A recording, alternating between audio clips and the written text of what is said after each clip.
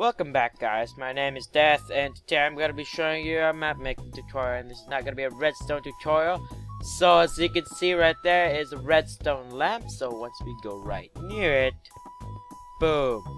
What is this? What is this sorcery? Some items! Whoa, alright, so.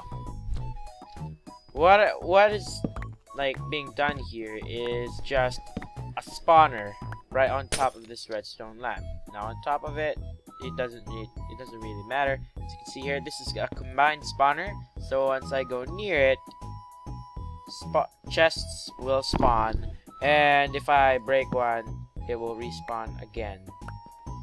And yeah, and this requires some MC edit tricks, and I'll be showing that to you in a bit.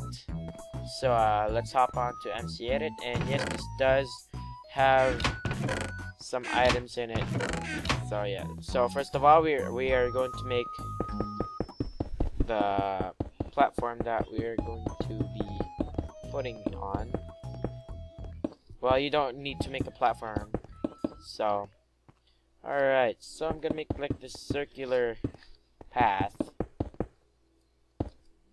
that should be even. Now this does require the NBT edit, but I'm using in-game NBT edit since it's e much easier to edit in-game. So yeah, alright. So my center point is going to be right here. I'm going to mark that. Chests are going to be spawning right here. Right there. And I'll be making a hole right there. Alright, now once you're done with your chests, um, well, you can choose wh wherever your spawner will be. I'll just choose the middle and making it so once I spawn, chests will appear. Alright, so we'll be grabbing some stuff like a blaze rod and putting like 8 ender pearls right there, 8 ender pearls, blocks of diamonds, ink sacs, bunch of redstone, and like splash potion of fire resistance and and regeneration. Alright, so let's hop onto MC Edit to see it in action. Alright guys, welcome back. Now we are in MC Edit. I hope you can see this better. So as you can see here, the, the yellow uh, boxes are the chests. And you will need uh, and the uh, filters from Sethbling. And I'm going to link that down in the description. Alright, so, well, what we're going to do here right now is going to select the whole area.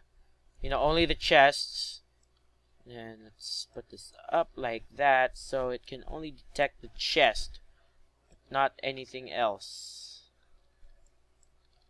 And only the chest itself. Okay, so once we have selected all of our chests, we click on this uh, teapot right here, or this coffee thingy, which is filter. Then we go click on the filter and choose a filter. And we are, first I'm going to choose is Sandify and let's just click filter. It needs to be like this.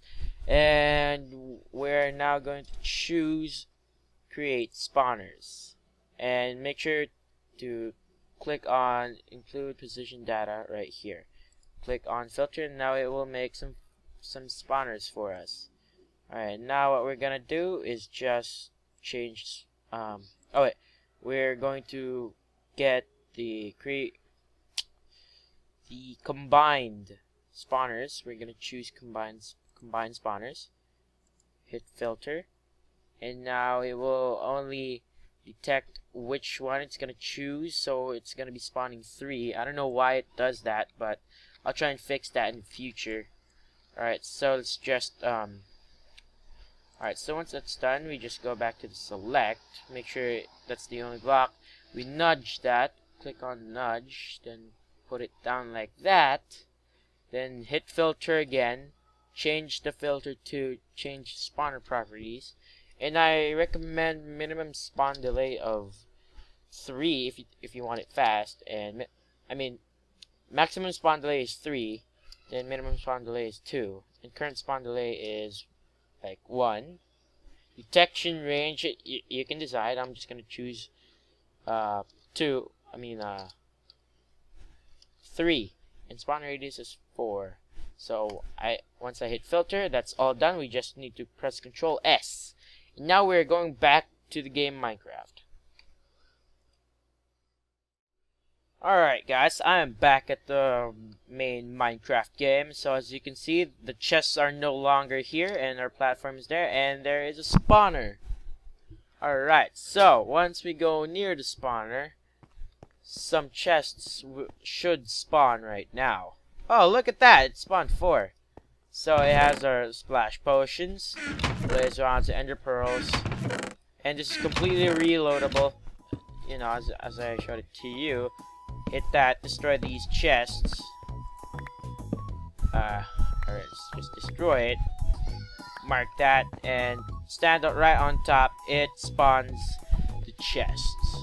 Now you can, like, make it spawn in midair so you can have like room for the floor and chest will like fall there.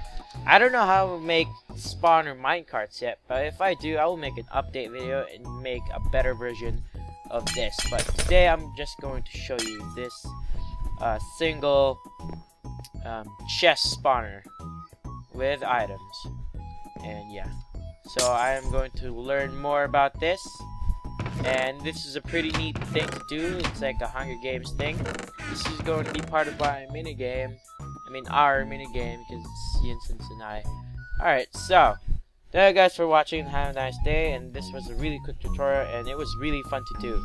Since it only uses some simple touches of redstone. No, not redstone. MC Edit magic. Alright, so thank you guys for watching and have a nice day.